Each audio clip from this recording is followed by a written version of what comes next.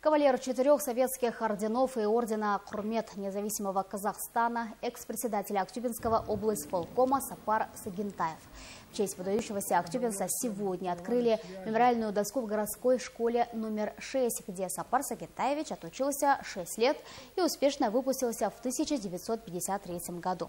На торжественном мероприятии присутствовали одноклассники, родные и близкие, а также представители местных исполнительных органов. Свою очередь, с теплотой вспомнили о своем друге. Сағынтаев вместе учились в одном классе с 1950 по 1953 год.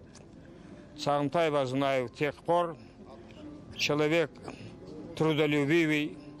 Еще когда учился в школе, отличался высоким знанием, высокой культурой, трудолюбием. Так мы всю жизнь э, общались, общались не только как э, ученики, как друзья, общались с семьями, э, делились радостью, горе, все мы вместе прошли.